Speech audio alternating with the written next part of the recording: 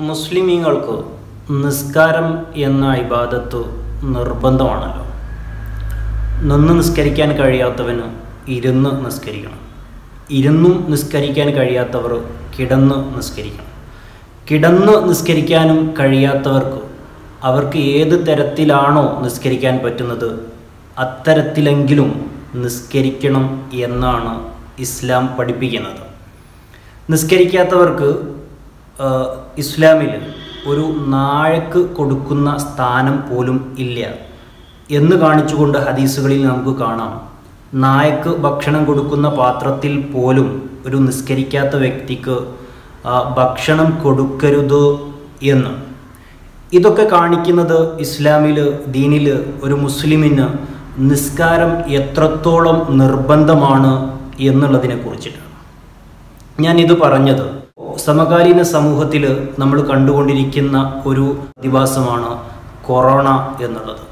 Corona പിടിപെട്ടതിന് ശേഷം നമ്മുടെ നാടുകളിലെ പള്ളികളെല്ലാം തന്നെ അടച്ചുപൂട്ടി. അവിടെ ഒരു ആരാധനക്കും പറ്റാത്ത രൂപത്തിലേക്ക് അടച്ചെങ്കിലും ഇപ്പോൾ കുറച്ച് സമയമായിട്ട് കുറച്ച് മാനദണ്ഡങ്ങളൊക്കെ പാലിച്ചുകൊണ്ട് നിസ്കരിക്കാം എന്നുള്ള തലത്തിലേക്ക് ചുരുക്കി. ഇപ്പോഴും പല സ്ഥലങ്ങളിലും ഈ ഒരു സാഹചര്യം പോലും ഇല്ലാതെ പള്ളിയിൽ അന്യമഹല്ലുകാർക്ക് നിസ്കരിക്കാൻ സൗകര്യപ്പെടുത്താത്ത രൂപത്തിലാണ് ഇപ്പോഴും കണ്ടുകൊണ്ടിരിക്കുന്നത്.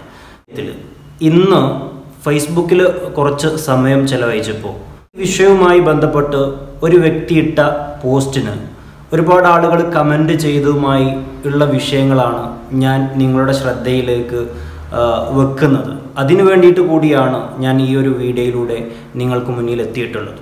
അതെന്താണ് എന്നുള്ളത് നമുക്കൊന്ന് നോക്കാം. പോസ്റ്റ് ഇതാണ് ഞാൻ വായിക്കാം. പള്ളി കമ്മിറ്റിക്കാരോട് അന്യ മഹല്ലുകാർക്ക് ഹോട്ടലിൽ വിലക്കില്ല. ജ്വല്ലറിയിലും സൂപ്പർ മാർക്കറ്റുകളിലും ബസ്സിലും ട്രെയിനിലും മറ്റു പൊതുസ്ഥലങ്ങളിലൊന്നും വിലക്കില്ല. എന്നാൽ പള്ളികളിൽ മാത്രം വിലക്ക്. ഈ വിലക്ക് ഈ വിലക്ക് തീർത്തവർ വിരലുകടിക്കേണ്ടി വരും. മുൻകരുതലുകൾ സ്വീകരിച്ച് ആർക്കും നിസ്കരിക്കാനുള്ള അവസരം ഉണ്ടാക്കുക അതാണ് പള്ളി പരിപാലനം. സൂക്ഷിച്ചാൽ ദുഃഖിക്കേണ്ട എന്നുള്ളതാണ് പോസ്റ്റ്. ഞാൻ നിങ്ങളുടെ ശ്രദ്ധ തിരിക്കുന്നത് ഈ പോസ്റ്റിന്റെ താഴെ ഈ വിഷയത്തെ അനുകൂലിച്ചുകൊണ്ടും പ്രതികൂലിച്ചുകൊണ്ടും വന്ന കമന്റുകളിലേക്കാണ്.